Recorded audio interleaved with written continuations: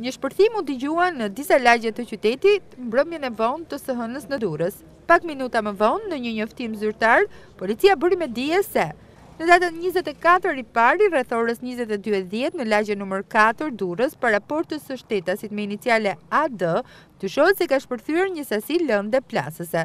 Si pasojë, janë shkaktuar vetëm dëme materiale në portën e jashtme të banesës. Ndërkaq, mësohet se bëhet fjalë për kreun e Federatës Shqiptare të Futbollit.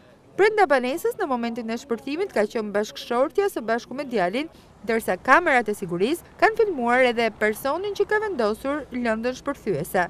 Nga kjo ngjarje e ndodhur në lagjen numër katër të qytetit, nuk pati persona të lënduar, por vetëm dëme materiale. Ndërkohë, po punohet për zbardhjen e saj dhe identifikimin e autorëve, informojnë blutë e qytetit bregdetar.